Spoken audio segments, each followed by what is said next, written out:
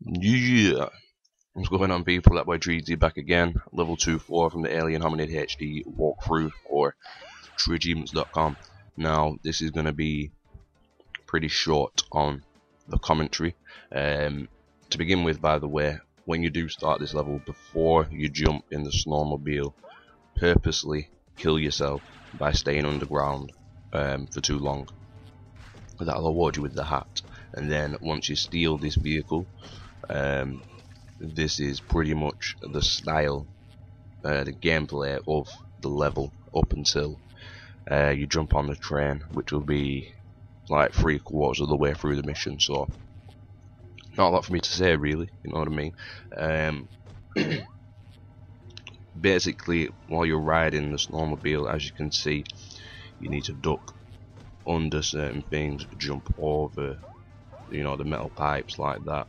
Um, and then eventually it, you know it gets harder and harder. You get enemies attacking you. You need to take these enemies out still dodge all these different structures. Um, it's, it's, it's pretty good level. It can, it can be difficult but I mean you, you, just gotta focus that's all concentrate you know as soon as you see someone coming along the side of the track you just gotta think right am I gonna jump am I gonna duck am I to jump and move forward to give me, you know, cover more ground? It's, it's very simple. It's just when you start getting all the craziness, craziness of all the enemies at the same time as well, it does start getting pretty heavy. Um, this is this is your your sub boss.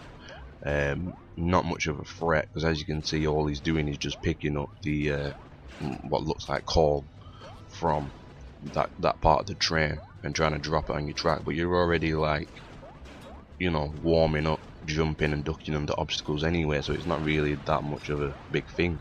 When you see the boss again in another crane, that's when it's um, steps up a bit, you know what I mean? Because the crane, the, the, the, whatever you call it, the grabber on the crane is actually trying to grab you this time, not picking up coal.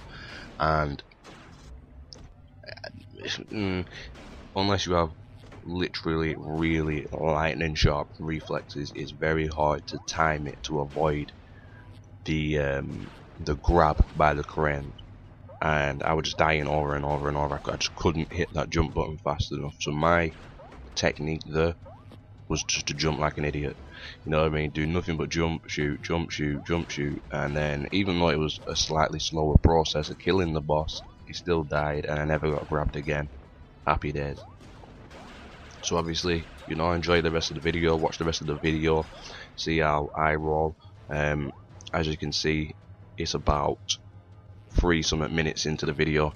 Uh, so it's about the halfway mark where you get off the snowmobile.